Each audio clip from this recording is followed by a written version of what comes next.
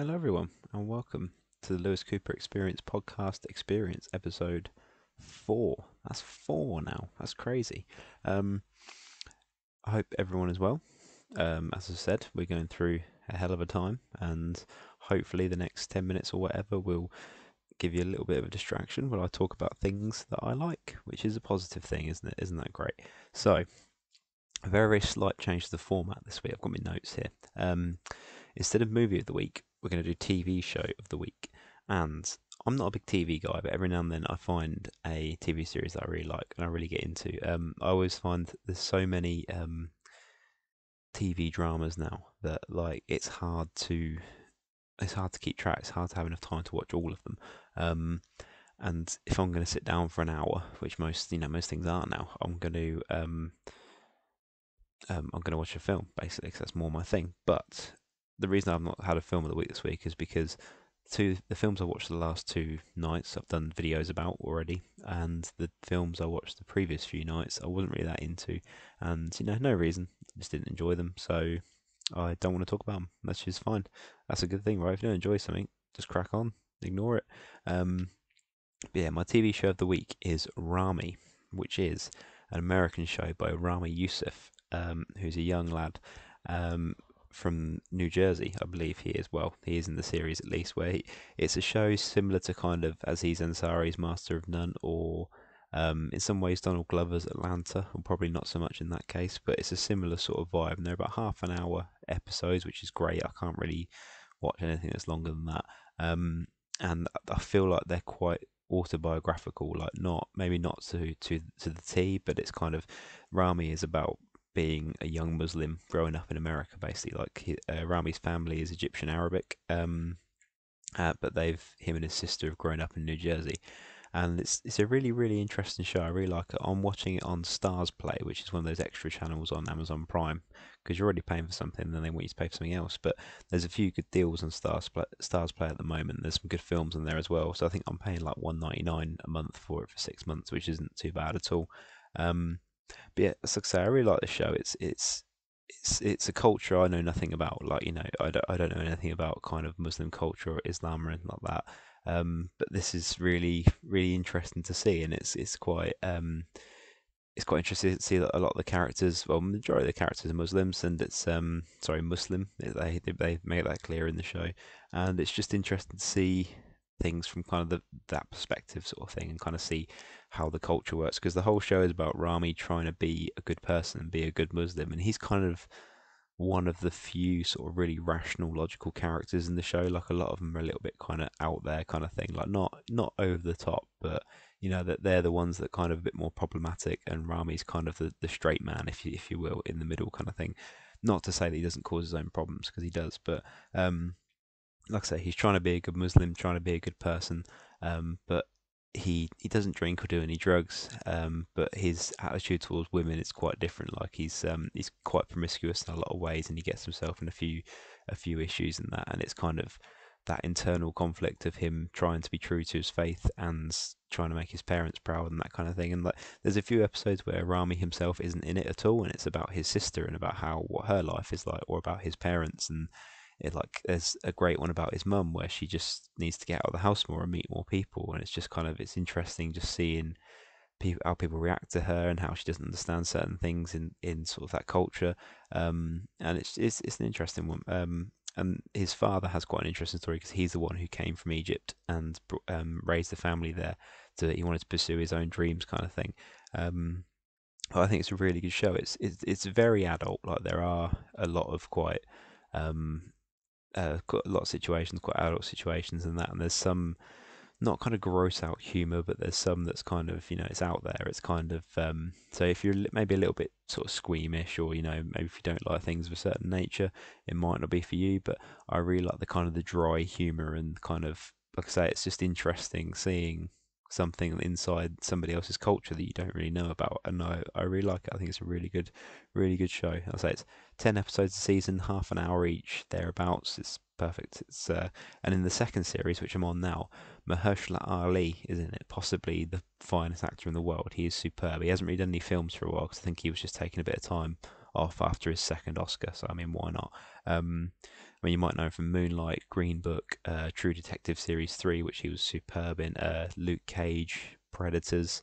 Um, what's the, the film about the robot woman, Alita Battle Angel. That's what that is.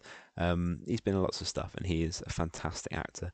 And he plays Ramy's uh, Sheikh. I can't really pronounce that the way they pronounce it.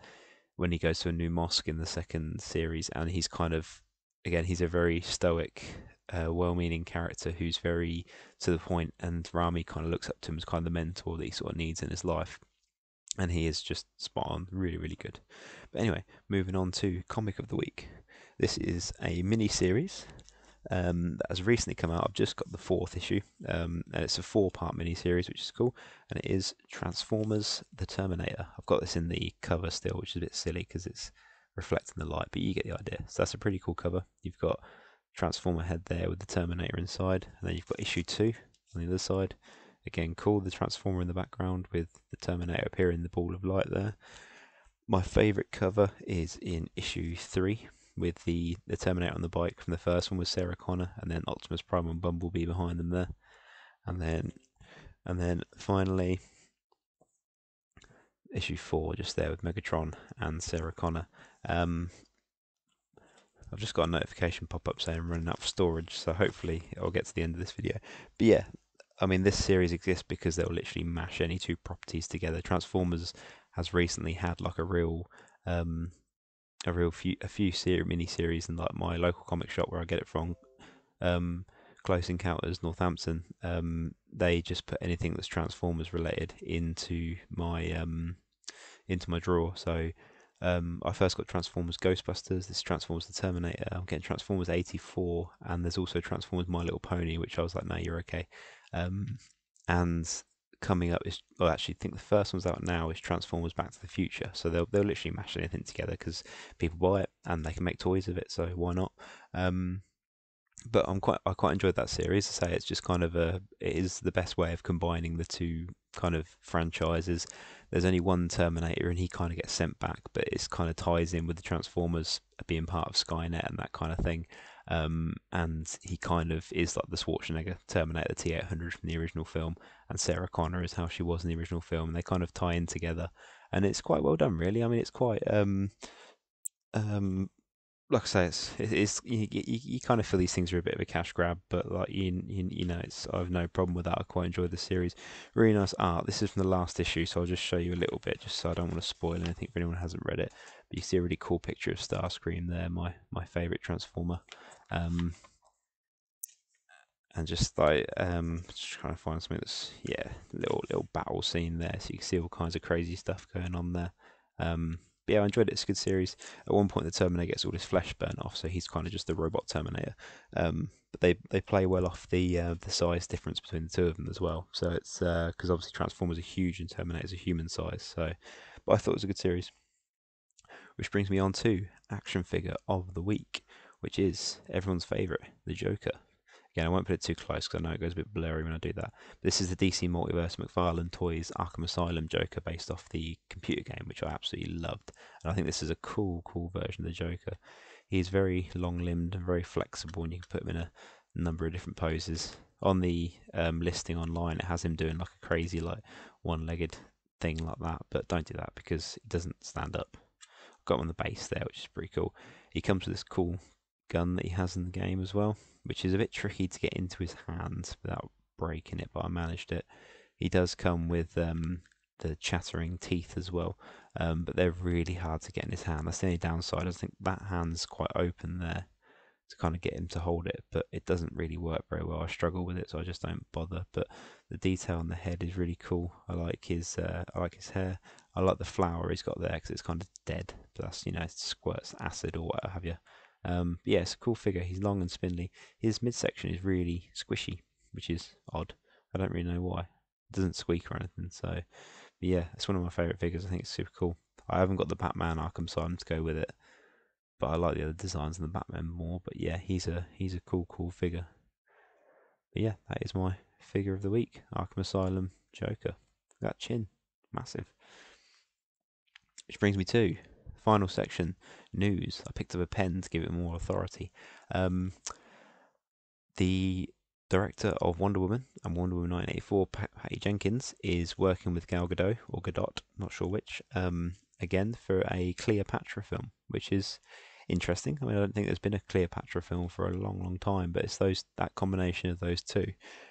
But again, I say it's not one that I'm going to go. Oh, I can't wait to see a Cleopatra film. But that's interesting. They're an interesting combination. Uh, Patty Jenkins did um, the Charlize Theron film Monster, which is really, really good. I like that film a lot. So you know, it's a pretty serious drama, and I like Gal Gadot. She's a great actress. Um, so yeah, I'm looking forward to that. The other news, in more into the comic book world, is uh, the Spider-Man 3, the MCU Spider-Man 3, not the Sam Raimi Spider-Man 3, um, has uh, the first they announced, well, they didn't announce, but there's the rumours of Electro Jamie Foxx being in it, which I don't even know if that's been confirmed yet, but I mean, we'll see. Um, also, they announced that Doctor Strange is going to be in the film, which at this point in the MCU blessed world we live in, you kind of go, yeah, why wouldn't he be in it? But I don't know if that's going to be kind of in a new mentor role because I don't really think he really needs a mentor now. Spider Man, he's you know he's he's done a lot in a short space of time. He's been the Spider Man, um, but it also lends credence to the multiverse theory that people are having after the WandaVision show and kind of the next phase of the MCU being more mixture of different characters from different worlds, which wouldn't surprise me. DC are going that way. Multiverses are just the thing at the moment, like in comics and everything, and toys. Like that's a multiverse toy there. Um, also, there's been rumours that Andrew Garfield and Tobey Maguire, the previous cinematic Spider-Man, have signed on um, to reprise their roles as Spider-Man in the same film. I don't know whether that's true. It's again, it's all a rumor at this point. Um, but it'll be interesting to see if they decide to do that and then they mix kind of all the Spider-Man. I, I mean, I can, I can live without it. I'd like to um, Tom Holland as Spider-Man, and I'm happy to see another Spider-Man film with him. And we almost didn't get it; almost went back to Sony, but there's you know there's the Venom rumors as well, Venom appearing in it. I just I don't want them to throw too much into it. Just you know give us a good give us a good story. Why not? Like, uh, but yeah, but I mean, as with anything this year, who knows when we're going to see any of it? So it's uh, it's just conjecture at this point. I mean, it's I know they're producing movies again, um, but I mean, we'll see what happens. I'm looking forward to it. I don't think Marvel will ever go the route of releasing things straight to video on demand. I, I don't think that will happen unless things get really bad. But you know, let's not worry about that right now. But yeah, that was episode four, the Lewis Cooper Experience podcast experience.